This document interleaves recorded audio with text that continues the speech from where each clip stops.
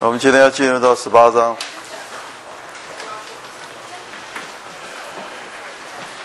这章所谈的东西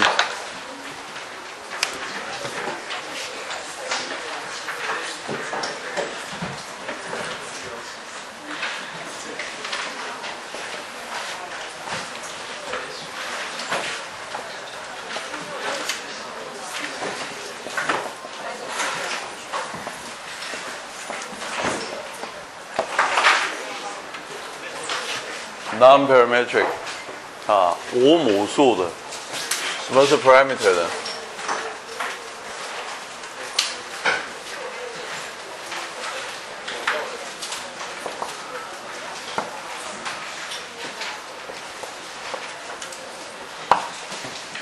？parameter 的，我们把它称为叫参数。我有一些人把它称为叫母数，因为它是母体里头的东西，母体的某一个标杆、某一个信号、某一个符号。好比说 binomial，binomial 有两个参数，我们一再强调，对不对？一个是 n，一个是 p。n 代表全部你做了多少次实验，p 代表每一次实验成功的几率。normal distribution 也有两个参数，一个是期望值，一个是变异数，就两个。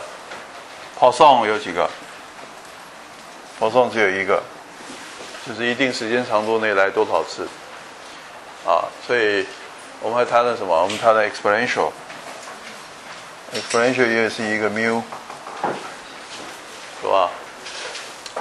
所以每一个几率风波函数里头，你都可以发觉呢，它有一些参数啊，有一些有一些数值，这些数值呢，它可以去显示出它的。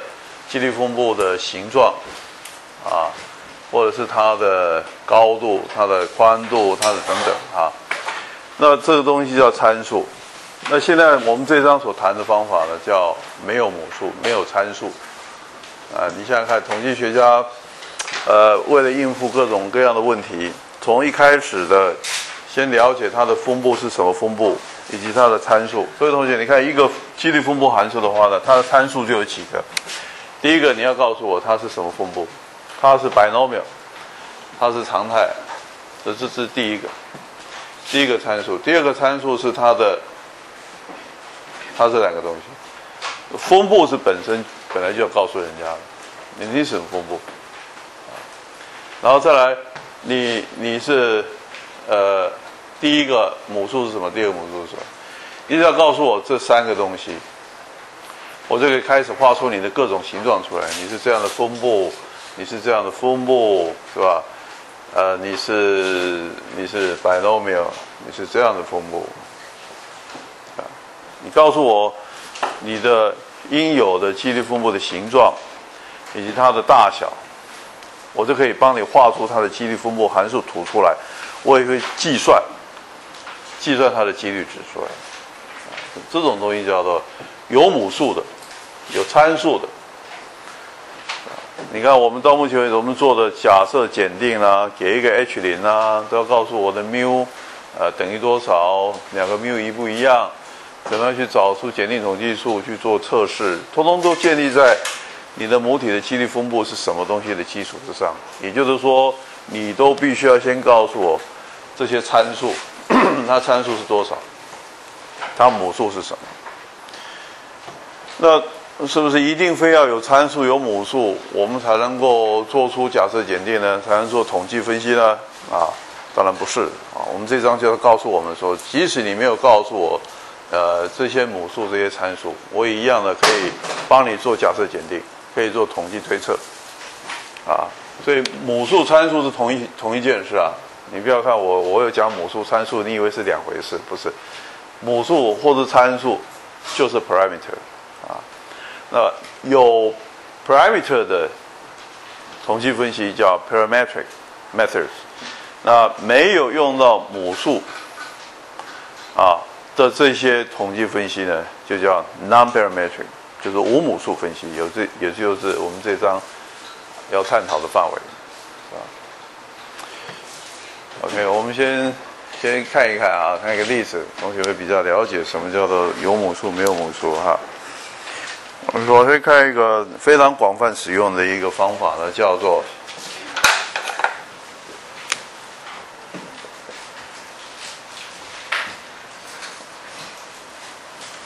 sign test。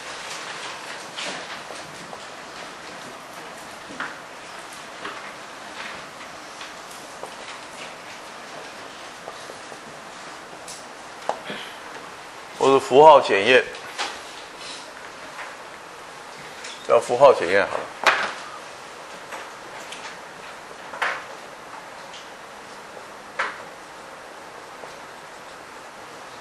也就是说，我们检验的对象，我们以前呢做检验都是拿一个检定统计数，对不对？我们以前是不是有个 test statistic？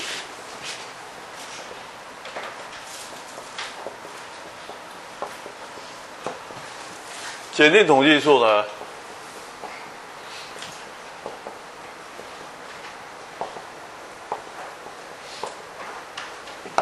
决定统计数是像市值，它扮演的角色像市值，或是某一种化学药剂，某一种的这个检验的一个一个尺度啊啊，一个什么样的方法，对不对？检验你的什么东西？那我们现在检验检验什么？我们检验如果检验 H 零的话，我们要看 H 零是在谈什么？H 零如果是谈跟 mu 有关的，谈两个 mu 有没有一样的话呢？它的检定统计数呢，就必须要跟两个东西有关。所以记不记得我们那个时候的检定统计数是什么？是 x one bar 减 x two bar，对不对？那现在符号也可以来当做检定统计数。所以 sign test 的意思就是说，你不用告诉我它的这些参数，它的 mu 等于多少，它的 sigma 等于多少，你可以不用告诉我，我一样可以帮你做假设检定。这个就有点怪啊！我们迫不及待来看一下它在谈些什么东西哈。首先，我们来看一下在八百七十二页，呃，这边呢有一种有一个卖卖个这个薯片的。就是就是这个 potato chips 的公司的，他把它做出来的 potato chips 呢放在了一个连锁店里头。那么他声称啊，他平均或者是他每一个礼拜，任何商店里头卖这种牌子的这个啊薯片的话呢，每一个礼拜 weekly 的 median 中位数所卖的价卖的额度啊啊。销售额呢，应该可以卖到多少？四百五十块美元。所以他把，他把他的检定统计数啊，不是他把他的 H 零设为什么呢？设为 median，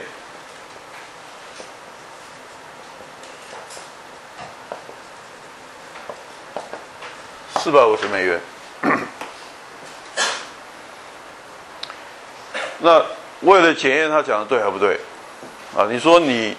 摆在一家商店，他摆在所有的连锁店，这连锁店像 Seven 一样的，你可以买摆多少家？全台湾五六千家，五六千家都能摆，对不对？然后每个礼拜去看，哎，你每一家这个这个礼拜啊卖了多少？有关这个薯片，啊，都好多家就回报了，好多家回报以后，他呢抽出若干家出来。各位看一下八百七十三页上方十八之一那个表里头，他抽了十家店。这十家店的每一家店都有它的它的店号，啊，有五十六五十六号的，呃，有一百零二号的啊，等等啊，把这些连锁店的店号呢写下来，然后呢，看该家商店在过去一个礼拜呢，它卖了多少啊？呃，它有卖四百多块的，四百八十五块，五百六十二块，四百一十五块，八百六十块等等啊，最差的是卖三百八十块。最低的话，最高的话是卖到，可以卖到，呃，八百六十块，啊，那么这样的数字有没有办法来支持或者是拒绝这个 H 零？这 H 零说，我们摆在这些连锁店，每一家商店每一个礼拜卖四百五十块，是当做它的中位数。换句话说呢，应该有一半的商店是卖不到四百五十。可是有另外一半商店是卖超过四百五十，这这样才叫做中位数嘛，是吧？你知道什么叫中位数？是吧？像你们班如果一次考试下来中位数如果是八十分的话，那是什么意思？那有一半的学生分数高于八十分，一半的学生分数低于八十分，这叫中位数。那你四百五十块当做中位数的话，那意思就有一半的商店卖超过四百五十块，有一半的商店卖不到四百五十块，这叫 median。OK，然后现在要检验这个东西。那检验的话，你看看他他怎么样来来做这件事？他有没有告诉你他的几率分布是什么？知道吧？你看他有没有说你这是常态分布？各位同学，你看这个题目里头，在这样的例子里头，他会告诉你的 sigma 是什么，没有什么，都不需要知道，就可以来做检验。检验的这个 median 有没有等于四百五十元？这就是 non-parametric method 它的基本的风度就是这样子。就是你不需要的麻烦去找了它的呃 mu 啦、sigma 啦，或它的几率分布，这些东西都是它的参数，参数不需要，你也可以做检验，所以叫做 non-parametric method。所以啊，我们才蛮极力的去跟各位同学啊来介绍，因为这张的东西事实上用范用用它的用途啊，可以说是相当广泛的。你们做社团活动，将来到公司上班，为了做简单的测试，不需要去广泛收集资料，也不需要了解它的几率分布函数是什么，你就可以用我们本章所谈的这些方法去做一些基本的测试，知道吗？这个叫什么？这个叫做无母数测试。啊，首先我们来看一下这个方法是什么，我们就把了八百七十三页这十家商店。然后每一家商店就问他说：“你有没有比四百五十块卖的还多啊？你有的话，我就给你一个正号，我就给你一个正号，呵 呵表示你有达到目标，是吧？你如果没有达到的话，就来一个负号，这可以吧？这好不好玩？有点像小孩子在玩啊，蛮好玩的，是吧？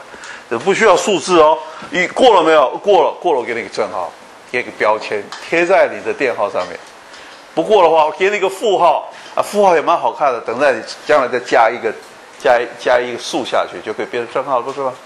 是吧，蛮好玩的啊。所以呢，靠符号，大家看一下八百七十三页底下，结果这十家店啊，就得到什么？得到有七家的店是得到正号，有三家店得到负号，看到没？所以。正号有七家，七个正，七正，三负。各位同学，七正三负足不足以呢，来检定呢四百五十块是当做 median 这样的一个假设。七对三，七比三。你看，没有任何统计的味道，没有不需要几率分布函数，不需要 mu，不需要 sigma，你只要告诉我，你打。打了十场对抗赛，你赢几场啊？赢七场，你输三场，对不对？你跟他菜菜十次，你赢七次，输三次，这种很 common sense 的数据呢，就可以帮你做某一种假设检定，蛮好玩的。OK，那这个时候呢，这个我们就想说呢，这个四百五十啊，既然呢四百五十。当 H 零说 median 是四百五，意思就是说你有一半的商店高过四百五十，有另外一半商店低于四百五十。换句话说，任何一家商店，它的营业额超过四百五十的几率是多少？任何一家商店。你说 median 啊？就我我问你啊，你说你们班上 median 是八十分，我随便问一个同学，他超过八十分的几率是多少？多少？是不是零点五？同样，我也可以问另外一个问题，我说哪一个同学低于八十分的？低于八十八十分的几率是多少？一样是零点五啊。所以啊，这个地方有一个 trick 在这边呢，就是你把 median 设为四四百五十块，其实它是要去铺造出一个一个东西出来，铺铺造出一个某一个几率值可以等于零点五，对上呢几率值不等于零点五，他要去营造出这样的一个大家比较熟悉的、以前所学过的啊这样的一个几率的的一个面貌。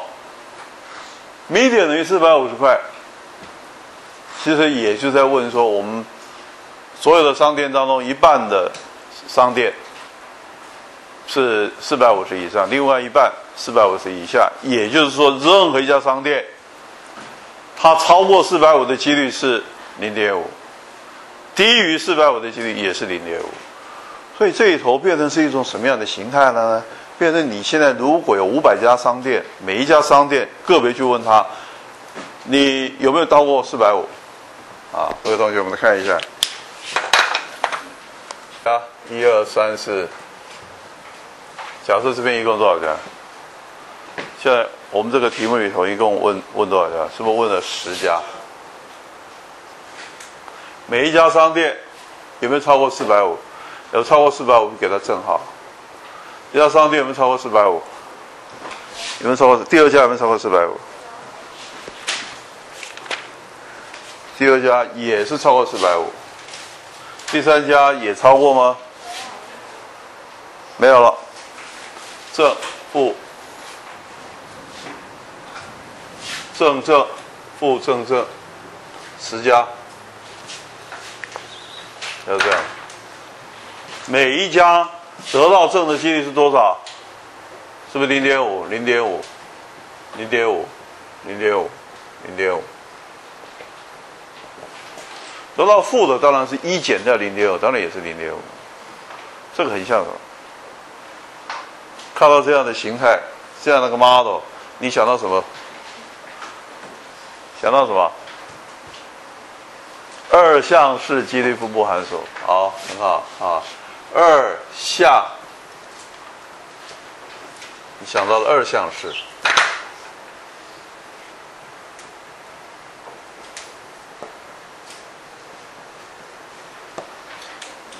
二项式分布是，你重复做同样的实验，每一个实验只有两种可能的结果，得到你所要的结果是 p，p 是多少？P 现在如果假设它是零点五的话，所以你现在是要去检验呢，这一连串的十家商店，每一家商店，它得到正号的几率是零点五，你要检验这个是对还不对？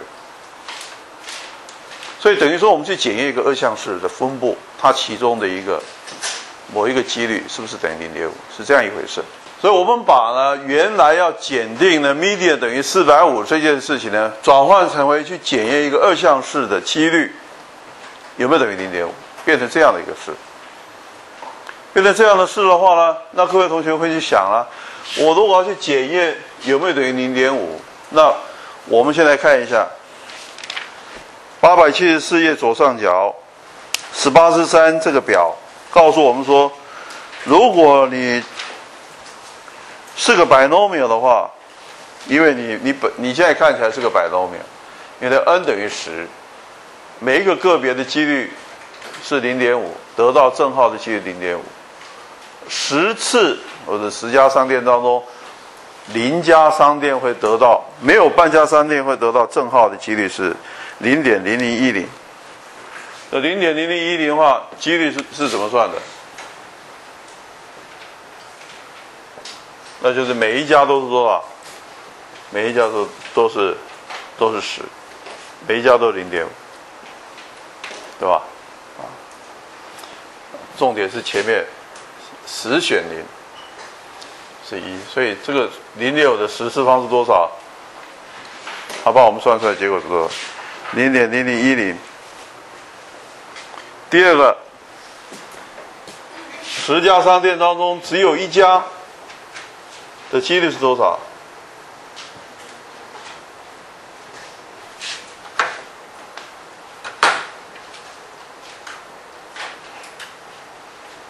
是不是乘十？看到没？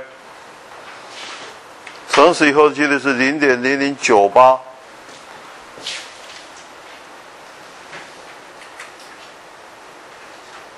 这个刚有没有同学帮我按一下？零点五的十次方是多少？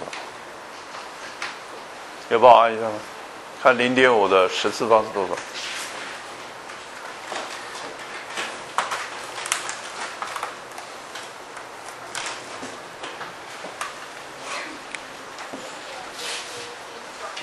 零点零零，再一个零，九七六，是不是？是这样啊？好，谢谢。这个乘以十，你再看看这个乘以十是多少？再乘以十，就是 x 等于一的几率。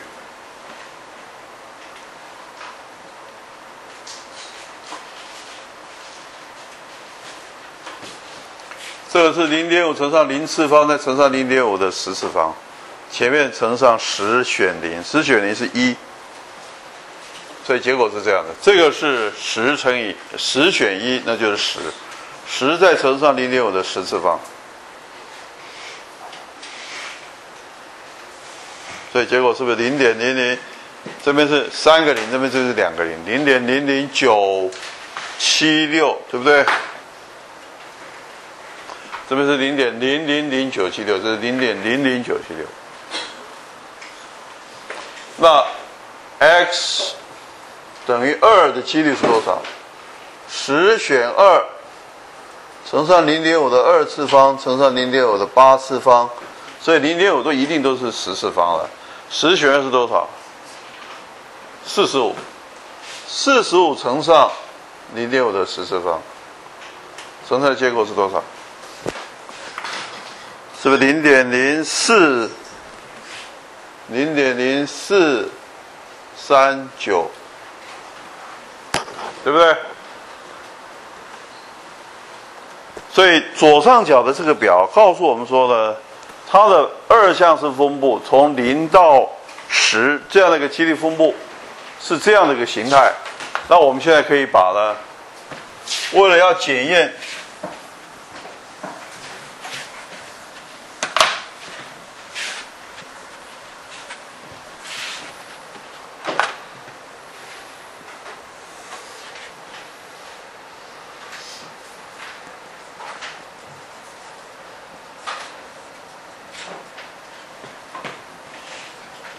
正号的个数，这是水平轴代表正号的个数。现在十家店得到正号的个数顶多是多少？顶多十，最小是多少？零，对不对？好，好，那如果你得到的是这边是五、四、三、二、一、零、六、七、八、九、十。现在同学，我们刚刚得到零的几率是多少？很低，对不对？再来得到一是多少？十倍。假设是这样子。再来，十学二是多少？可能应该是这样子。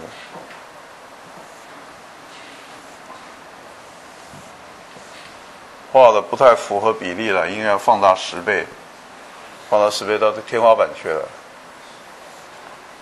我们可以画出来类似像这样的图出来。最重要，你要看课本上面画的那个图。假设这样子。那现在为了检验 p 等于零点五，你要说 p 等于零点五。那我要检验的到底它到底一共多少个啊？个数有多少个？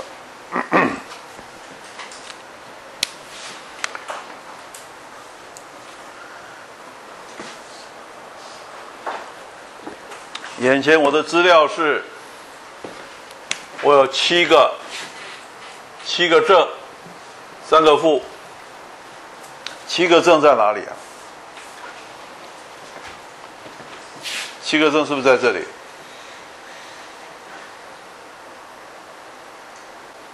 七个正在这里，七个正号。如果你 p 等于零点五，n 等于十，现在的期望值应该是多少？这个题目的期望值是 n 乘以 p，n 乘以 p 是多少？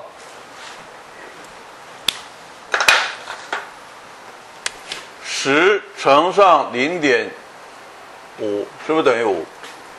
所以期望值最高的点在这个地方等于五。现在你收集到的资料是七，你十家店当中给你正号的十家有几家？有七家。如果平均来讲的话，在期望值来讲的话，应该是五。说你十家每一家如果都是零点五的几率的话呢，应该是有五家会得到。结果你现在得到七家，所以你现在这个七家呢，在这个地方，所以七家五家在这个地方，所以如果就我们假设检定来讲的话呢，你看我们说了，我们习惯了我们的 mu h 零为真的的内容在这边。假设我得到的资料在这个地方，这一点由于在中间值的以右，因此它的 p-value 在哪里？p-value 是这点以外，那就是向右的地方。如果你是落在它的左手边的话呢，它的 p-value 是在以左的地方。这是我们大家都熟悉的上学期假设检定的概念。现在你来看一看，我现在得到七，所以呢，这个七以外的面积以外的几率是多少？以外的面积不就是这一块？还有呢，这一块？还有这一块，这一块，那也就是七以外的几率。七以外的几率是多少？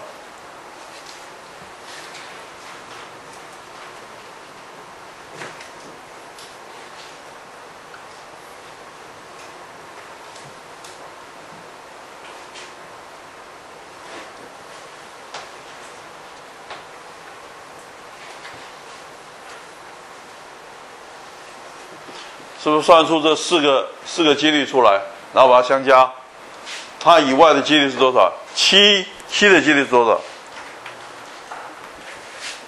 零点一一七二。八的几率是多少？零点零四三九。零点零零九八。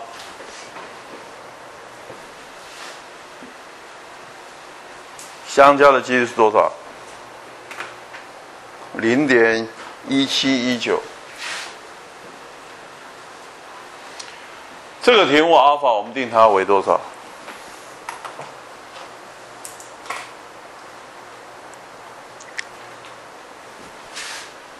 我们给阿尔法定零点一。所以同学看看我们所算出来的几率，那个资料点。是等于七以外的几率是零点一七一九，是吧？零点一七一九的话呢，是它的 p-value，可是这是双维检定，双维检定，所以说呢，它应该先乘以二，乘以二的值是多少？零点三四三八，零点三四三八是它的 p-value，p-value 有没有跟比零点一还小？它比阿尔法。比零点一还小，因此呢，p-value 比 alpha 值还小，所以怎么样？所以 reject，reject h 零。所以我们的 h 零说它是 p 等于零点五，因此各位同学，p 等于零点五，n 等于十，所以说我们才会画出这个图出来。所以这个图出来是在 h 零为真的情况下所得到的。而且这样的一个几率分布，binomial 分布来讲，它的 mu 一定是在等于五这个地方，因为 h 零假设它为真，所以如果你 h 零假设它为真的话，p 等于零点五的话，这个二项式它的期望值在等于五这个地方。所以你要去假设，就要去检定这个假设，p 等于零点五这个假设到底对还是不对的话呢，你就要是找出它的 p-value 出来。现在你的正号呢是是七个，对不对？正号有多少个？正号多少个？它就是变成是一个 binomial 分布。这个 binomial 分布呢，它的正号现在是得到资料是七个，七以外的几率是多少？七以外的几率是刚算出来零点一七一九，那它的 p-value 乘以二。去跟零点一阿尔法值做比较，它比阿尔法值还小，所以拒绝 P 等于零点五这个假设，是。P value 阿尔法我们现在是零点，哦阿尔法是零点一，哦，是哦，我怎么错那么离谱啊？零点三比零点一还小啊？是哦，怎么会这么错呢？呵呵，是难怪大家都没声音了哈。哦，OK，终于有人有人说国王没有穿衣服啊。好，Sorry，所以 P value 是比 alpha 还大，P value 比 alpha 大的话，这结果应该是什么？Do not reject，对不对？Do not reject 什么东西？Do not reject P 等于零点五，Do not reject median 等于四百五十，懂这意思吗？也就是说，你现有的证据。不足以推翻 median 是四百五十块这样的基本假设，不足以推翻两家店当中就有一家店，每一家店有零点五的几率，它的呃每一周的营业额卖这个 potato chip 的营业额超过四百五十块。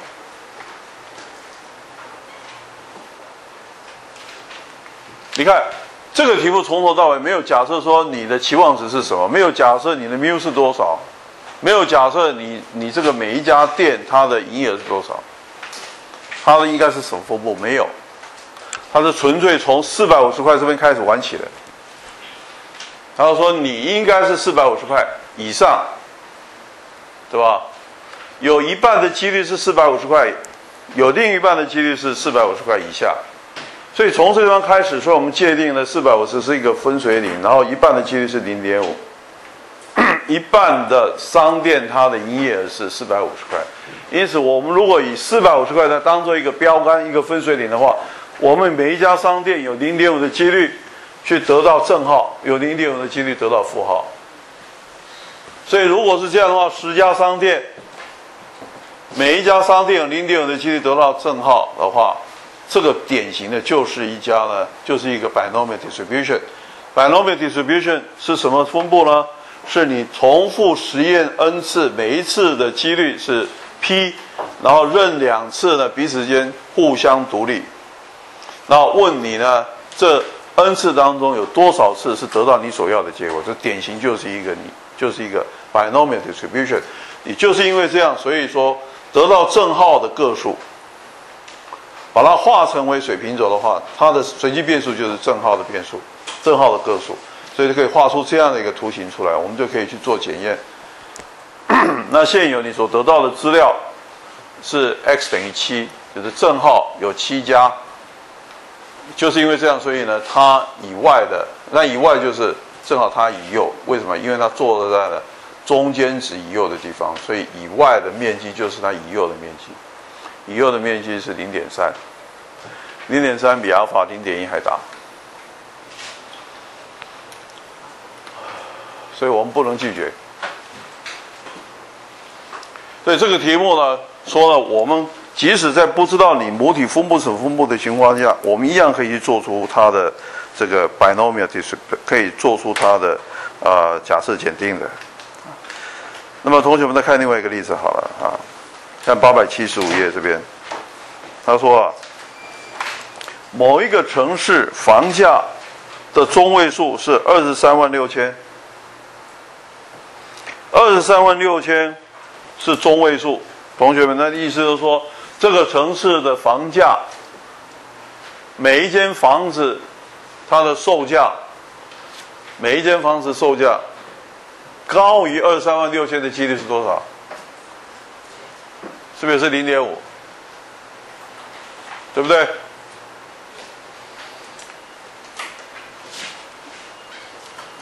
中位数是二十三万六千，那不就是每一家商店高于二十三万六千的几率是零点五吗？好，二十三万六千作为一个一个分水岭的话，那我们一样可以啊，我们一样可以去去把它展望成为。P 等于零点五啊，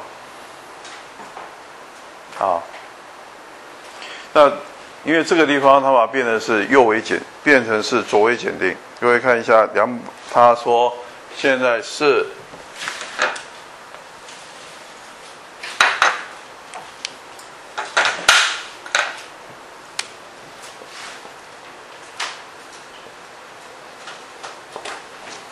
median 是大于等于二十三万六千，也就是说，你你的中位数是在二十三万六千以上，所以你应该怎么看呢？你看看这这个如果是最低价，这如果是最高价，二十三万六千，中位数二十三万六千以上，就是中位数二十三万六千是在这个地方。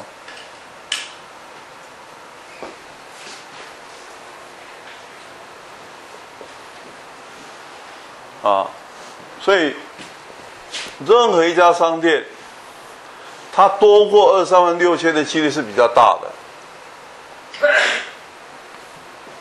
那中位数很有可能，它一半可能在这个地方，可是你现在比比一半都还要小，所以说任何一家商店大于二三万六千的几率是比零点五还要大的。所以这个地方我们可以看成为是大于等于零点五，几率大于等于零点五。P 呢小于零点五，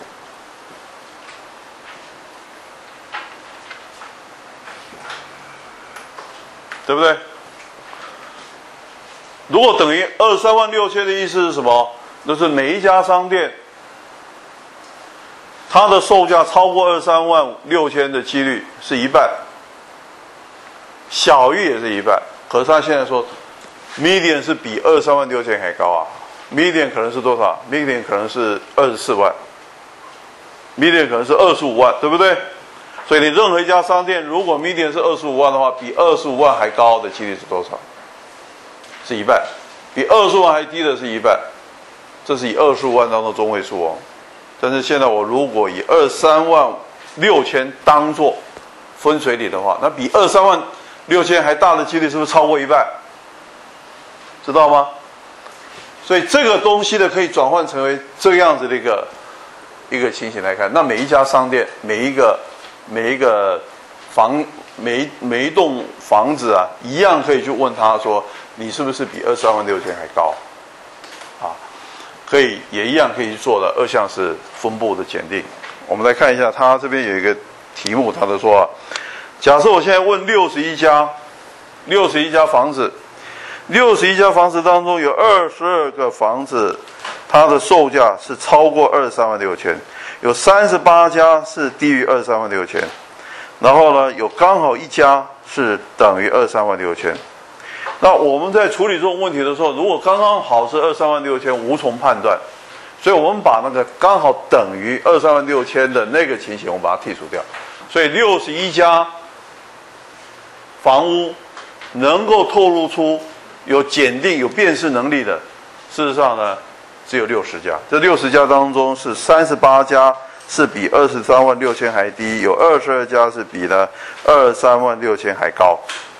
啊，那么现在呢，在这样的情况下，因为你的 n 呢大于二十，各位同学看到八百七十五页，现在我们的 n 呢，本来的 n 是只有十，现在你看我们的 n 呢是超过。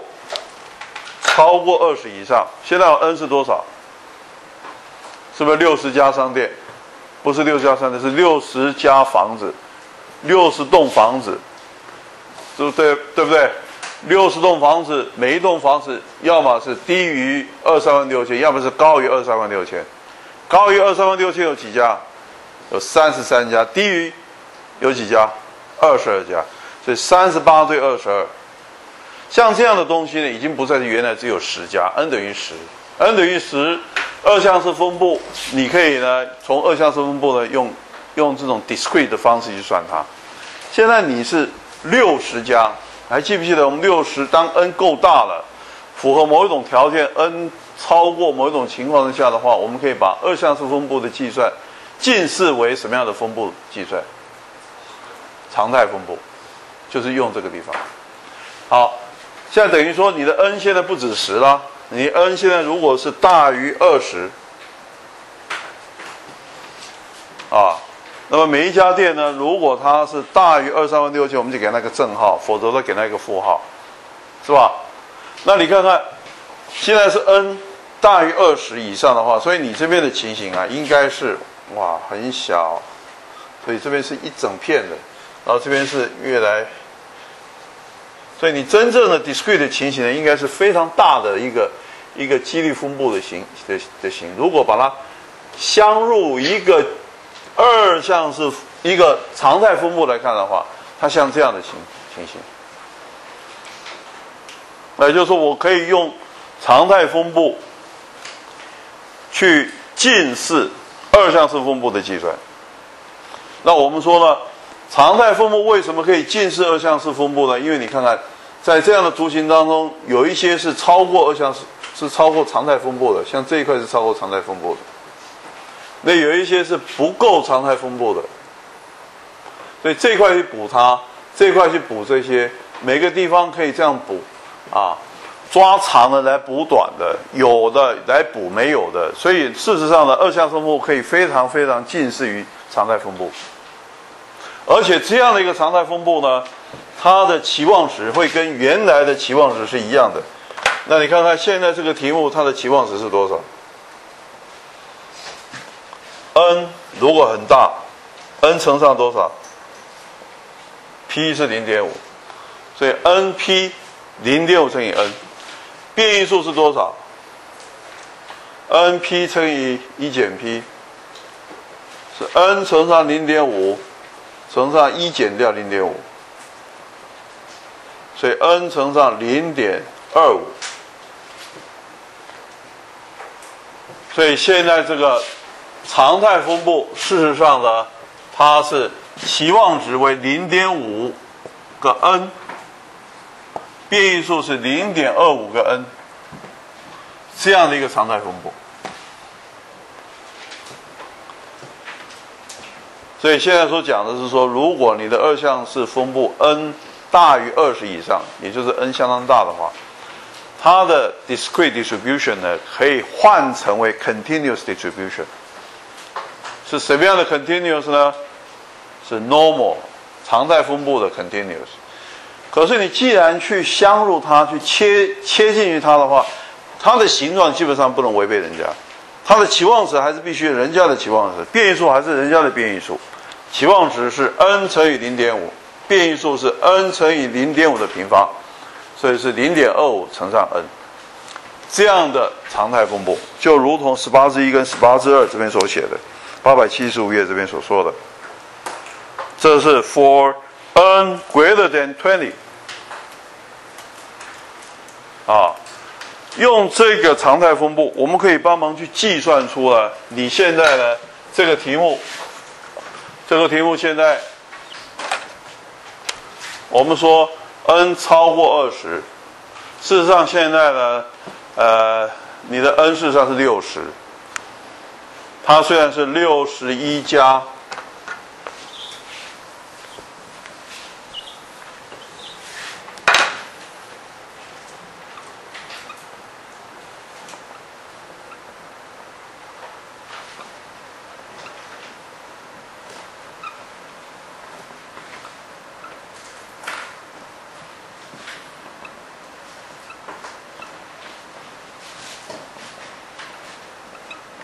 去掉一家，它的售价正好等于二三万六千的，所以有效的、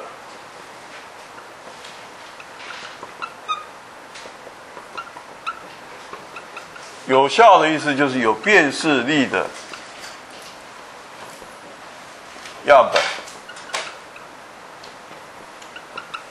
数只有六十一减一，只有六十。其中，售价高于二三万六千的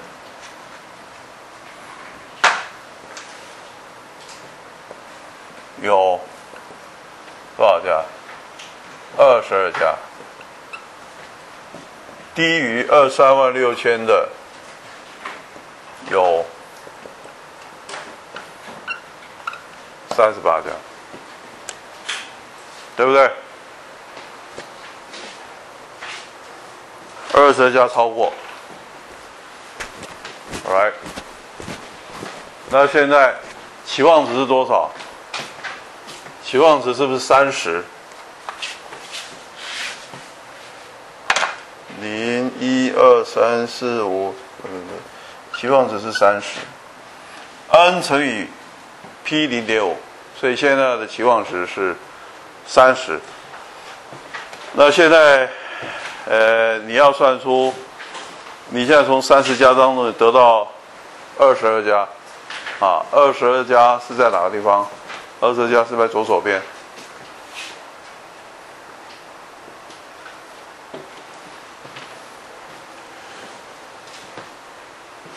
各位同学看，你现在是 p 大于等于零点五，对不对？p 大于零点五的话呢，你要想推翻它，它的拒绝区在哪边？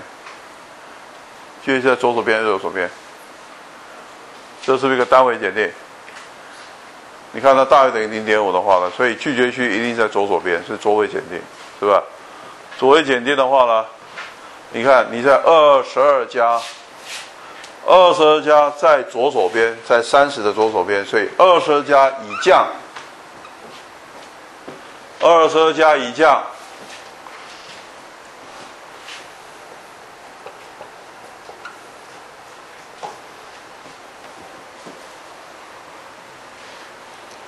二十二加以下的几率可以变成为，这边变成是一个常态分布，用常态分布来近视它。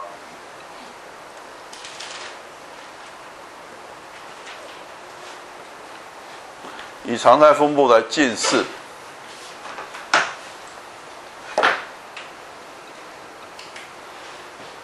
所以你现在的 x 呢减掉期望值，现在期望值是多少？一半，三十。标准差是六十乘上四分之一开根号，六十乘四分之一是多少？十五，十五开根号是多少？三点八七三。同学，二十二点五的二十二是它的二十二是在 discrete 的情况下讲二十二，但是现在你把它换成为常态分布，这头有一个 factor 必须要放进来，还记得吗？discrete 转换成为 continuous 的时候，有一个 factor 必须要考虑，那叫什么 factor？continuity correction factor 还记得吗？现在你二十二要算的话。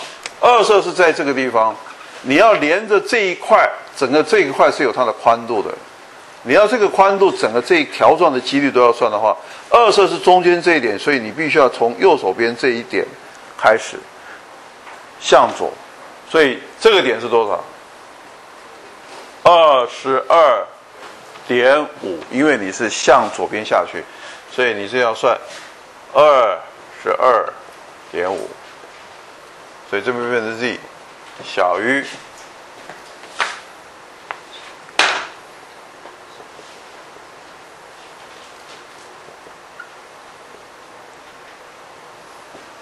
那变成 z 小于它，最后算出来是多少？各位同学看一下，八百七十六页是负的一点九四，负一点九四。帮我查一下机率等于多少？z 零这边负一点九四，负一点九四，这画斜线的面积是多少？得的结果是零点零二六二，这是单位检定，所以不需要再乘以二了，它小于零点零五。所以呢，它拒绝 H 零，H 零说 P 大于等于零点五，它比零点五还大，啊，拒绝掉，啊，这拒绝零点五的意思是什么？那就是说我们拒绝原有的假设，拒绝这个假设是拒绝这个假设，那就是说你的 media 呢，不应该是大于等于二十三万六千。因为事实上，你看看，大于二三万六千只有二十二家，而小于二三万六千有三十八家。显然，这些资料呢是跟 H 零是相违背的。而且到了某一个显著的程度的，所以才可以拒绝这个 H 零，对不对吧？看得懂吗？中位数是二三万六千。如果它是真的话，你应该六十家当中有超过三十家以上都是比二三万六千还高才对。就说你现在只有二十二家是这样，你有三十八家是支持它的相反的，所以事实上它是被推翻的。所以这个题目啊，跟先前我们所讲的这个有关呃每个礼拜 potato chip 的这个销售量的这个例子来看的话，两个都是应用同样一个手法，就是找出中位数。以中位数呢作为检定的的 H 零，然后把它换成为 P 等于零点五，然后就看说呢，到底有多少个样本数当中的那个多少个啊是超过零点五的，知道吧？几率是超过超过超过它。那因为你是用中位数来说，所以它的几率正好是零点五的。可是问题就是说，你有多少家是超过零点五？是从这地方出来的。好吧，下课休息。